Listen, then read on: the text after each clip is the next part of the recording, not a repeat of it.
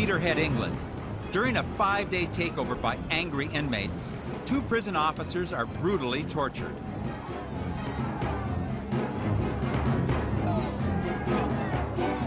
One of the captive officers is brought out on the roof, shackled in chains.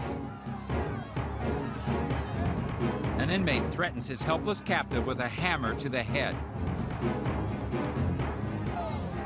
Four prisoners are sentenced to an additional 27 years for their part in the riot. Fortunately, all of the officers are eventually released.